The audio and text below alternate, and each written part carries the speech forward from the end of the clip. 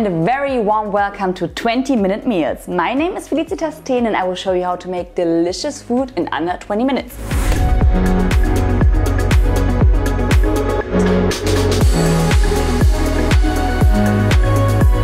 Today we make fasolada, a Greek and very traditional soup with a lot of beans. So let's start.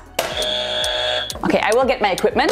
Okay, I have a pot, blue and white, Greek colors kind of, and my chopping board.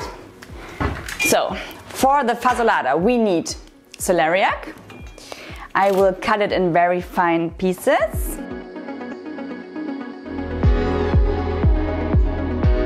I love celeriac because whenever you use it, it gives the sauce or the soup a very intense flavor. Like it feels deeper, you know? it doesn't feel like, oh, there's a lot of celeriac. It just feels like, yes, flavor, flavor, flavor, and that's what we want. What else do we need? Of course, onions, because onions are also a very basic, very important vegetable in cooking. I have some carrots. I will not peel the carrots because we only have 20 minutes. If you're lazy, you can also cut it in slices. You don't have to do it in very fine pieces like I do. Just make sure you make it in under 20 minutes. Cutting is done. Now I have some very good olive oil. And now I will fry all the vegetables.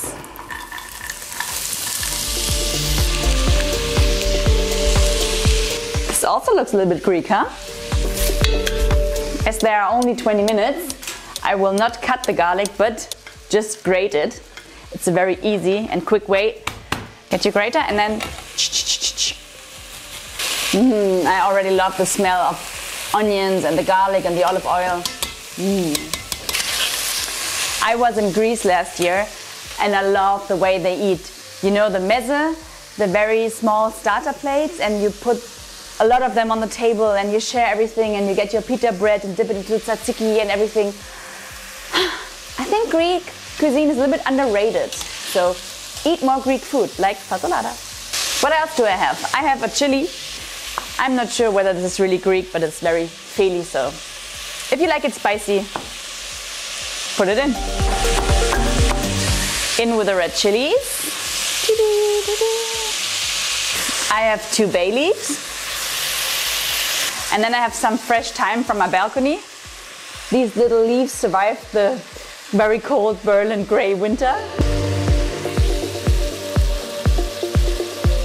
For the soup I have tinned tomatoes and vegetable stock.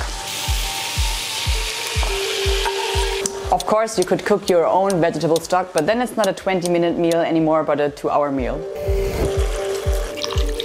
To season the soup I have some oregano, salt and pepper and a little bit of sugar. This was very, very quick and now I'm cheating a little bit because I use pre-cooked white beans because otherwise it would take a lot of time. But a little bit of cheating is okay, I think. Five minutes left. I will clean up a little bit and then toast the pita bread.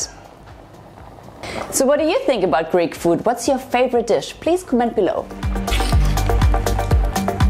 If you want to see more 20 minute meals, don't forget to subscribe to our channel DW Food and leave a nice comment below. For the pita bread, I use some olive oil. If you have some time left, and I have two minutes, then you can just use two more cloves of garlic to give it a little bit more flavor. This soup is also very nice for meal prep. You could make a big pot and eat it tomorrow or the day after.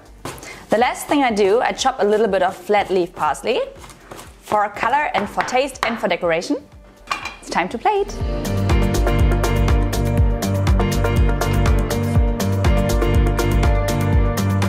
Soup done, bread done, everything in under 20 minutes. Yes! time to eat. I have this very beautiful plate. To be honest, it's from Portugal and not from Greece, but I think it's okay. My twist is to put a little bit of Greek yogurt on top and some fresh parsley. Yes. Okay, wow, this soup is so aromatic and full of flavor, and I love the combination of hot soup and cold yogurt. Mm. If you enjoyed this video, don't forget to subscribe to DW Food and Essay Evcaristo, and goodbye. Mm.